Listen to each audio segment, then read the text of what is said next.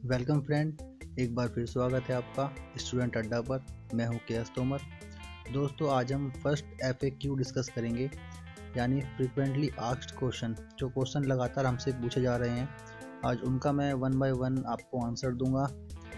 But उससे पहले, अगर आप फ़र्स्ट टाइम इस चैनल पर वीडियो देख रहे हैं तो प्लीज़ चैनल को सब्सक्राइब कर लें, ताकि हमारी आने वाली वीडियो के नोटिफिकेशन आपको मिलते रहें।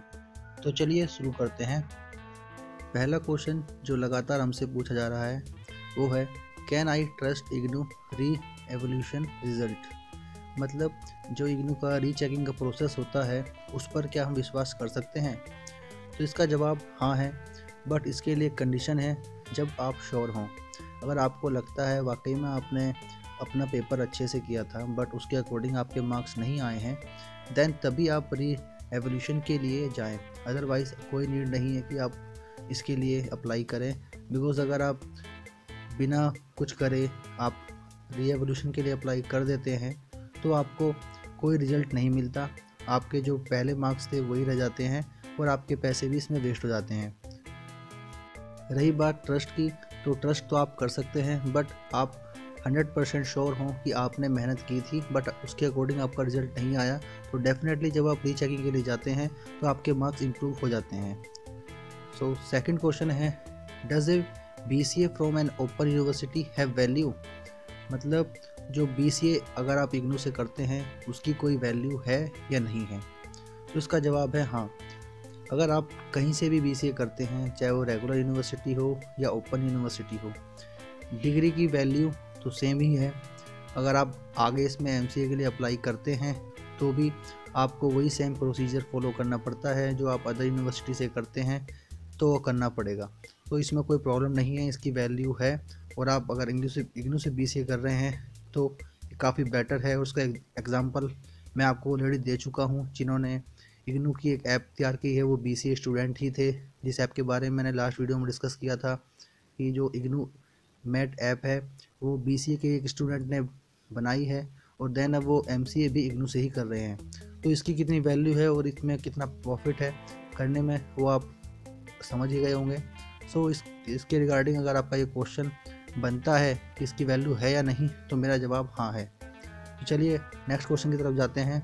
नेक्स्ट है is this possible to appear in all eight papers at one time एक साथ आप एक ही टाइम में आठ पेपर के लिए अप्लाई कर सकते हैं या नहीं?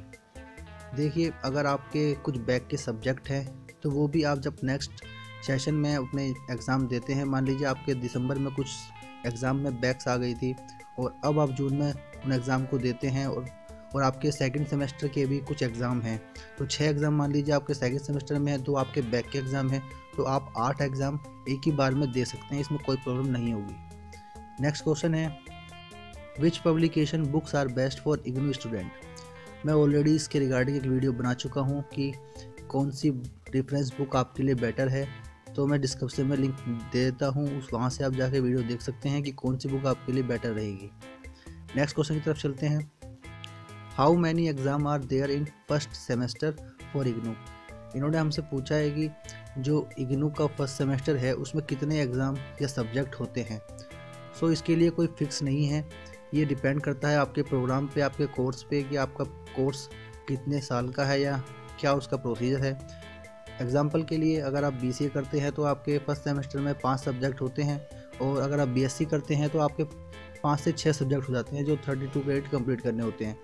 तो ये सब क्रेडिट के ऊपर डिपेंड होता है कि कंपलसरी नहीं है कि आपके चार सब्जेक्ट हों या पाँच सब्जेक्ट हों। सो अगर आप फ़र्स्ट सेमेस्टर से ये सोचते हैं कि आपके फिक्स सब्जेक्ट होंगे तो ऐसा नहीं है, वो सब आपके क्रेडिट के ऊपर डिपेंड होता है। नेक्स्ट क्वेश्चन है does IGNOU conduct exam two times in a year yes IGNOU साल में दो बार एग्ज़ाम कंडक्ट करता है जून और दिसंबर में। ये डिपेंड करता है आपके एडमिशन सेशन पर। अगर आप जनवरी में एडमिशन लेते हैं तो आपका एग्ज़ाम दिसंबर सेशन में होता है। अगर आप जुलाई से, सेशन में एडमिशन लेते हैं तो आपका एग्ज़ाम जून में होता है।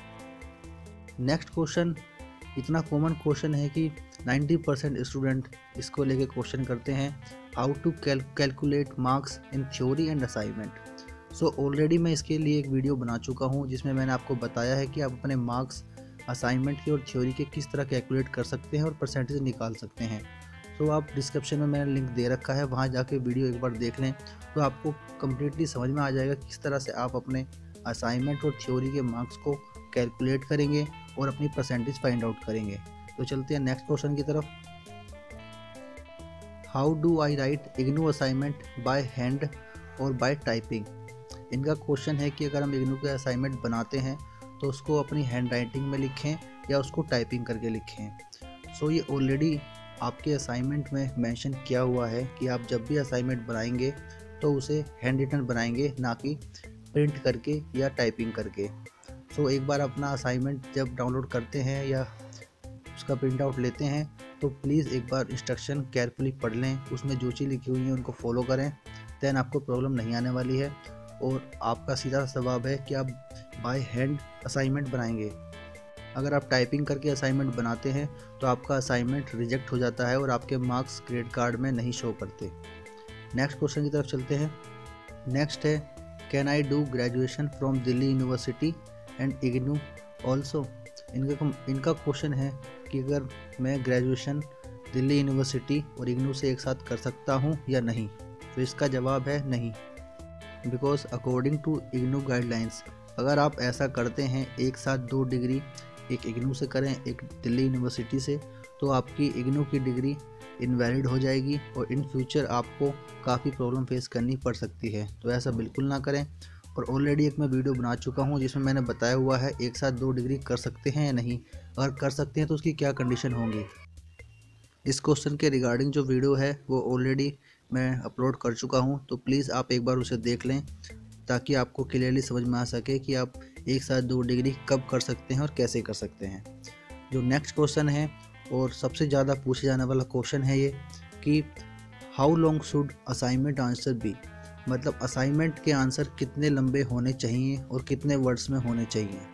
तो इसका आंसर है, अगर आपका असाइनमेंट क्वेश्चन फाइव मार्क्स का दिया है तो आप उसे फाइव पॉइंट में एटलीस्ट लिखेंगे ही लिखेंगे। बट डिपेंड करता है, अगर आपको वर्ड लिमिट दे रखी है वहाँ पर तो आप वर्ड लिमिट के वर्ड लिमिट के अकॉर्डिंग ही लिखें उसको। साथ ही क्वेश्चन के अकॉर्डिंग अगर उसमें क्वेश्चन की डिमांड है, डायग्राम की, चार्ट की तो आप वो सब चीज़ें मेंशन करें क्योंकि उसके अलग से मार्क्स होते हैं। अदरवाइज़ आप सिंपली उसको एक्सप्लेन करके लिख सकते हैं और वर्ड लिमिट का भी ध्यान रख सकते हैं ताकि उसके वर्ड लिमिट के अकॉर्डिंग अगर आप नहीं लिखते तो आपके कहीं ना कहीं मार्क्स डिडक्ट हो जाते हैं। अगर आपका कोई असाइनमेंट क्वेश्चन 20 से 25 मार्क्स का है तो उसको कम से कम आप दो से तीन पेजेस में लिखें। दो दो से तीन पेजेस बहुत साइड से लिखने होंगे आपको, ताकि आपके जो उसमें सभी पॉइंट हैं, वो सब मेंशन हो पाएँ। आप उसको पार्ट वाइज करें क्वेश्चन अगर 20 से 25 मार्क्स का है तो डेफिनेटली उसके अंदर पार्ट्स दे रखे होंगे। तो आप वन बाय वन उन पार्ट्स को अटैम्प्ट करें और उसको हर पार्ट को एक अच्छे तरीके से उसकी डिटेल्स को मेंशन करें। चाहे तो आप उससे के लिए गूगल से हेल्प ले सकते हैं और साथ ही अपनी रेफरेंस बुक का भी यूज़ कर सकते हैं।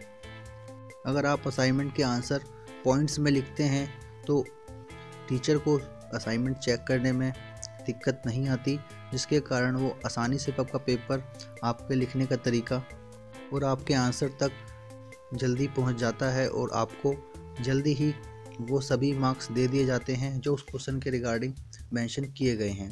अगर आप उसको डिस्क्राइब नहीं करते हैं और पॉइंट्स में नहीं लिखते हैं, और चाहे आप उसे कितना भी अच्छे से लिख लें, आपको कंप्लीट मार्क्स कभी नहीं मिलेंगे। सो so, उसका अगर आपके असाइनमेंट में पार्ट्स दिए हुए हैं तो अपने असाइनमेंट को पार्ट वाइज क्वेश्चन करें। ऐसा ना करें कि फ़र्स्ट क्वेश्चन पहले उसके बाद सीधा लास्ट क्वेश्चन कर दिया। अगर ए पार्ट में पाँच क्वेश्चन दिए हैं तो ए पार्ट को एक साथ ही करें बी पार्ट को एक साथ करें। अगर इस तरह से आप अपना असाइनमेंट अटैम्प्ट करते हैं और क्वेश्चन को लिखते हैं तो डेफिनेटली आपको अच्छे मार्क्स मिलने वाले हैं। सो so, दोस्तों ये सभी क्वेश्चन हमसे लगातार पूछे जा रहे थे। सो मैं वन बाई वन इनका मैंने आपको आज जवाब दे दिया है बिकॉज़ हर बार मैं सबको एक ही जवाब नहीं दे पाता और कई बार कई कमेंट्स मेरे से मिस हो जाते हैं। सो उसके लिए सॉरी बट माइंड मत कीजिएगा क्योंकि कमेंट्स इतने आ जाते हैं कि वो कहीं ना कहीं मिस हो जाते हैं। सो इसी तरह से मैं एफ़ क्यू लाता रहूँगा ताकि आपके जो लगातार पूछे जाने वाले क्वेश्चन हैं, वो हमें मिलते रहें और हम उसको सॉर्ट आउट करते रहें। और सभी ज़रूरी वीडियो के लिंक मैंने डिस्क्रिप्शन में दिए हुए हैं तो प्लीज़ एक बार डिस्क्रिप्शन को चेक कर लीजिएगा और वीडियो को लाइक करना ना भूलिएगा और चैनल को सब्सक्राइब कर लीजिए। थैंक यू सो मच मिलता हूँ आपसे नेक्स्ट वीडियो में। Thank you so much